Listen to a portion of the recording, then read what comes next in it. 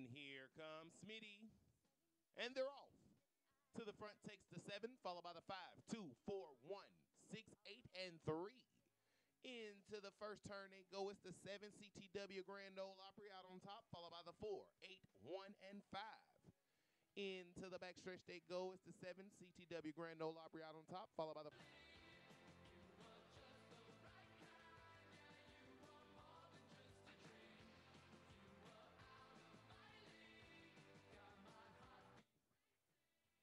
There you have it, ladies and gentlemen.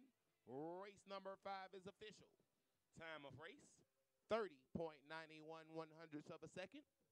Order of finish 7431. Winning Greyhound number seven. CTW.